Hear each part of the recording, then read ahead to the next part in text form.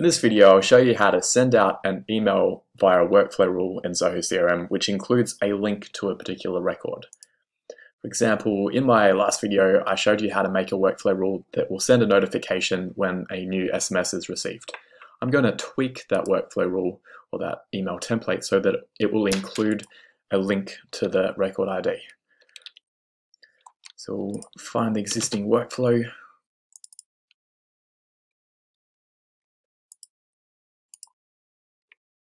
this one here.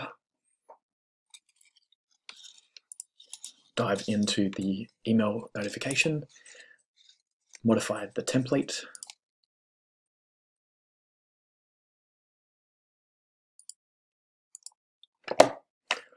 And what we'll do, in link to lead and then click on the link icon. And then we need to construct a URL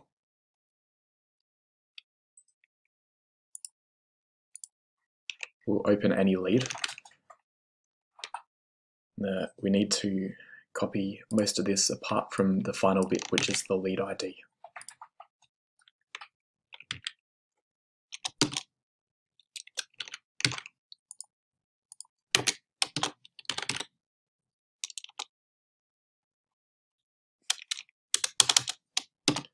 So what we'll do, we'll do a merge field and then we go to lead name and do prospect ID. We can now incorporate that into the URL.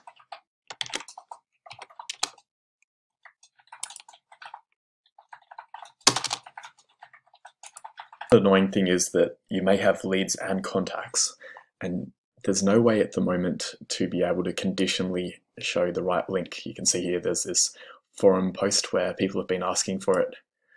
I encourage you to, to come and vote for this, can I add conditional mail merge tags to your templates? But in the meantime, what we'll have to do, we can put in the lead or the full name.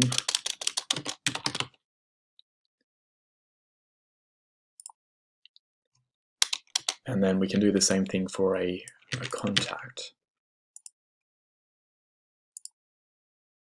Just change it to, instead of leads, we'll have contacts.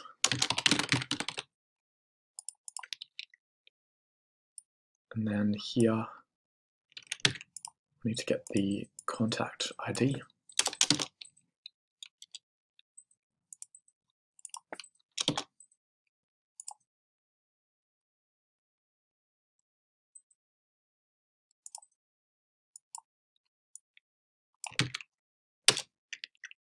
Put in the contact name.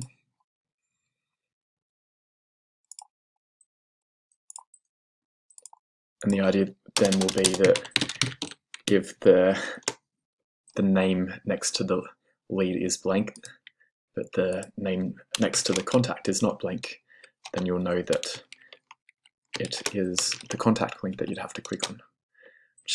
It's not ideal, but until they add conditional merge tags, that's the best we can do.